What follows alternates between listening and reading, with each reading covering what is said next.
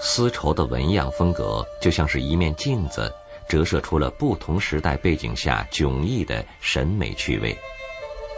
公元十世纪开始的宋代已没有了盛唐时期的辉煌，北方游牧民族的入侵更是让整个国家境况日下。弥漫于宋代的是一种孤零、伤感和忧郁的情调。不再是盛唐时代的奋发向上，而寄情于世外的自然风景、山水花鸟的隐逸生活，强调一种平淡的天然之美。如果说唐代的丝绸纹样是以富丽、豪华、丰满为特点的话，到了宋代则变得清淡、自然而又庄重。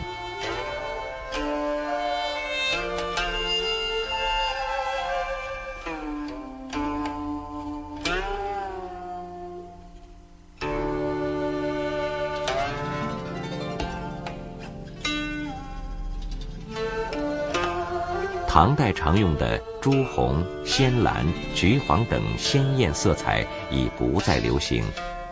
代之以茶色、褐色、棕色、藕色等为基调，再配上白色，极为淡雅。自然生动的花鸟纹渐渐成为当时的时尚。